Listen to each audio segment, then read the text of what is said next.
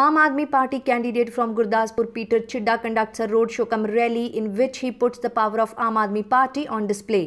Chidda targets all opposition parties for minimum development in Gurdaspur constituency and appeals people of Gurdaspur to vote for AAP this time.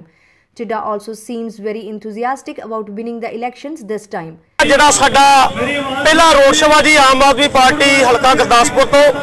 ਔਰ ਸਾਡੇ Aam Aadmi party ਦੇ ਪੂਰੇ volunteer ਇਸ ਜਗ੍ਹਾ ਤੇ ਮੌਜੂਦ ਨੇ